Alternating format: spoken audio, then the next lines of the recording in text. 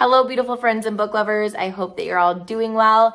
If you're new here, welcome. My name is Heather, and here at Heather's Book Review, I love to read and review mainly thrillers like what I'm doing today, but I will also just read and review just about anything uh, that I'm feeling like reading or reviewing. Today's video is a dedicated review for The Writing Retreat, which is written by Julia Bartz, and I believe this is her de debut, eh, yes, words, novel. This is her debut novel.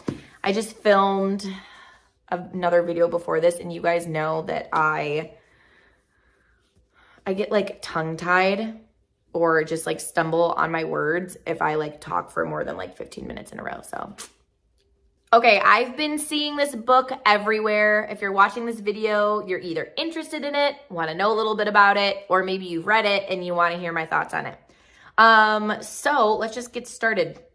I chose this as my February uh, book of the month thriller choice book.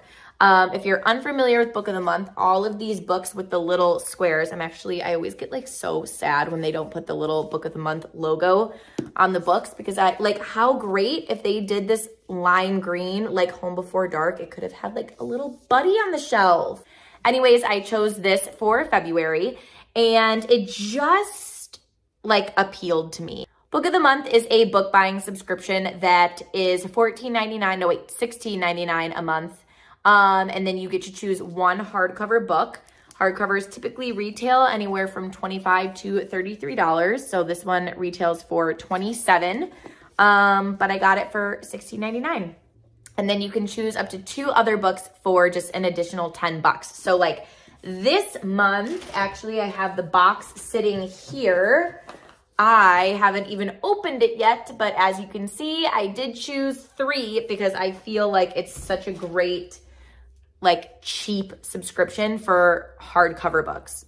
So if you're interested, I will leave my referral link in the description box below. And if you go through that link, you get your first month for just 10 bucks. And then I get a free book, which is freaking sweet. I also just want to shout out Simon & Schuster Audio for hooking me up with the audio version of this book. I would say I read about 40%, like physically read, or maybe it was half and half. I was reading half of the book and then I would read some, listen to some. So I would like listen to half of it and then read it. But I did not read a whole ton in February. And this was the book that I gave most of my time to in February. And I really enjoyed the audiobook um, adaptation too. So thank you so much to Simon & Schuster for providing me with this audiobook because I loved it. It was great, loved the narrator, really enjoyed listening to it. I'm gonna go ahead and just share the synopsis of this book if you want to hear what it's about.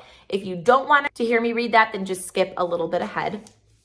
But it says, at one exclusive writer's retreat, it's publish and perish.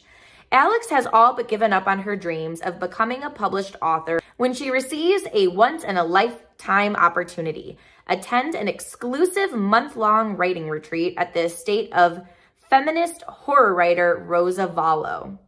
Even the knowledge that Wren, her former best friend and current rival, is attending doesn't dampen her excitement. But when the attendees arrive, Roza drops a bombshell. They must all complete an entire novel from scratch during the next month, and then and the author of the best one will receive a life-changing seven-figure publishing deal. Determined to win this seemingly impossible contest, Alex buckles down and tries to ignore the strange happenings at the estate, including Roza's erratic behavior, Wren's cruel mind games, and the alleged haunting of the mansion itself. But when one of the writers vanishes during a snowstorm, Alex realizes that something very sinister is afoot. With the clock running out, she must discover the truth or suffer the same fate. A claustrophobic and propulsive thriller exploring the dark side of female relationships and fame, The Writing Retreat is the unputdownable debut novel from a from a compelling new talent. All right, so let's just get down to the nitty gritty, shall we? I was seeing everybody like raving about this book um, on Bookstagram. And I'm like, great, it's gonna be fantastic. Like, let's let's go. I mean, that sounds amazing. That synopsis sounds amazing. Like a snowed in writing retreat. And I feel so bad saying this. I really like, I just, I always feel guilty when I just don't like love a book. I don't know why. Like, I mean, everyone's different. Everybody's different. Everyone has their own likes and dislikes, but I didn't like it, which is such a bummer because it felt like a Ruth Ware book to me. Um, if you're new here, I have mentioned this in several videos, but like Ruth Ware books always just like fall flat for me. Like her settings are always top notch. Like she sets up her books great. They have so much potential. And then they just, it's like, dude, dude, dude, dude. Like, I just, I don't even bother reading a Ruth Ware book anymore because I'm never, ever, ever satisfied with the endings.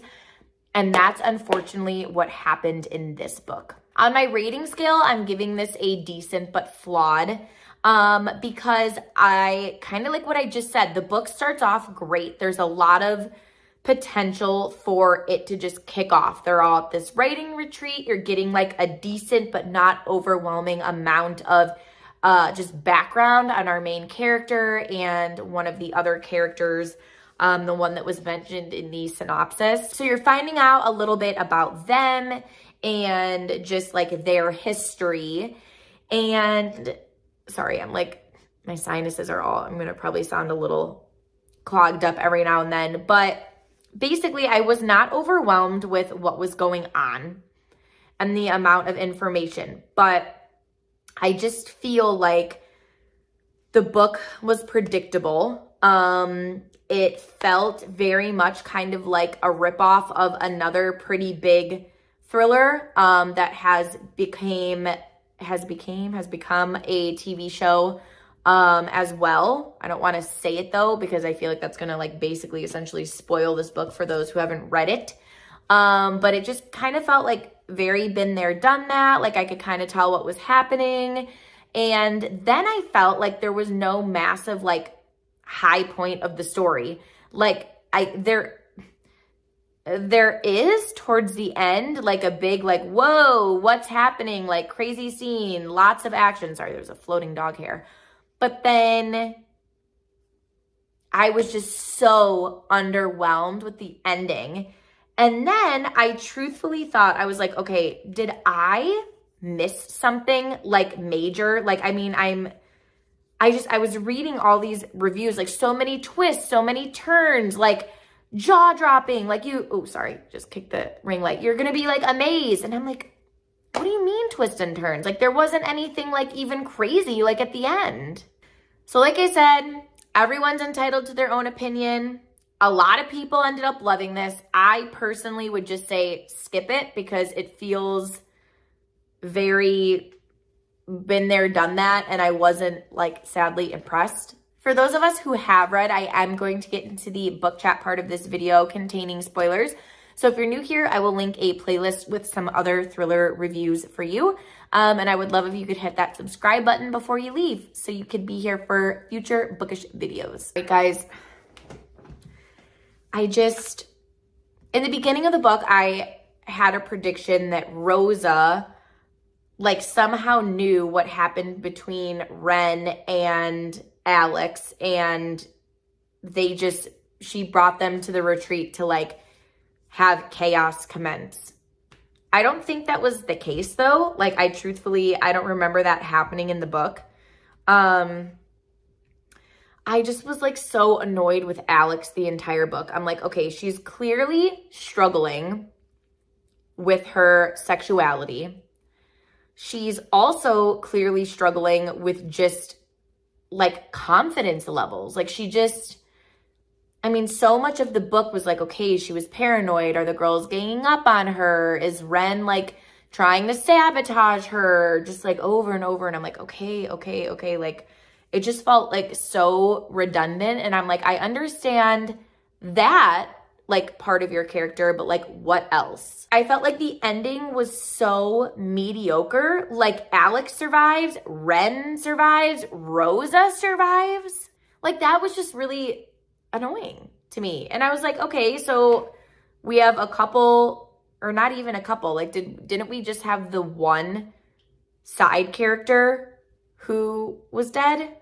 Did, like, I don't know. I just felt like I'm like, okay. And then I think like a lot of people just in the reviews I was seeing were kind of hinting at like the ending where Roza texts Alex and is like, hey, like, I'm so proud of you. And then she's still like, again, dealing with that like confidence or that like, wow, like, I can't believe she complimented me. Like, but I feel weird about liking her compliment, but basically like her texting her and like validating her success and then Alex not knowing how to feel. Shocker. Okay, great. But I was like, okay, like she's alive and texted her. Like that's it? I don't know. I was just, this is what happens when like I see so many reviews just like hyping it up. Like people like one of the best thrillers I've read this year. I'm like, yes, let's go. Like, wow, it's to be a great, great thriller. And then that's just a me thing. Like I hype myself up when I see a lot of people loving it. So I think I just had like